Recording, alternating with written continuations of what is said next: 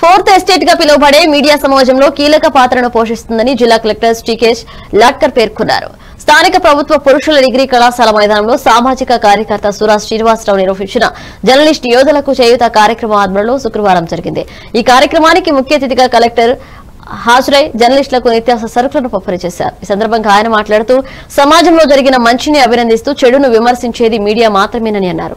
ఈ సందర్భంగా సూరా శ్రీనివాసరావు దంపతులకు కలెక్టర్ షాల్వా కప్పి జ్ఞాపిక పుష్పగుచ్చమిచ్చి ఘనంగా సత్కరించారు. అనంతరం వాకర్స్ క్లబ్ ఆధ్వర్యంలో జరిగిన మొక్కలు నాటే కార్యక్రమంలో పాల్గొన్నారు. ఈ కార్యక్రమంలో జిల్లా క్రీడాభివృద్ధి అధికారి బి శ్రీనివాస్ కుమార్ తదితరులు పాల్గొన్నారు.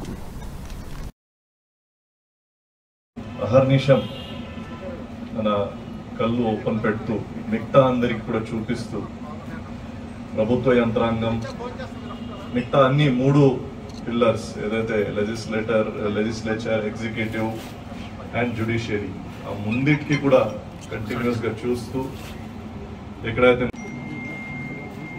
ఈ డిస్ట్రిబ్యూషన్ కార్య కార్యక్రమం నిర్వహిస్తున్న శ్రీనివాస్ గారు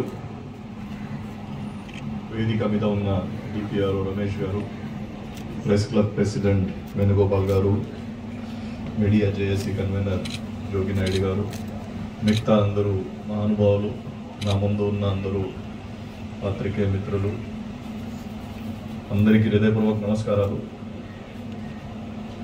ఇంతకుముందు చెప్పడం జరిగింది role of journalist is very important మన ప్రజాస్వామ్యంలో చూస్తే ఇట్స్ అ ఫోర్త్ పిల్లర్ ఏది కూడా మూడు పిల్లర్స్ మీద నడవద్దు. ఫోర్త్ పిల్లర్ ఉంటేనే స్టెబిలిటీగా ఉంటుంది. So fourth pillar of democracy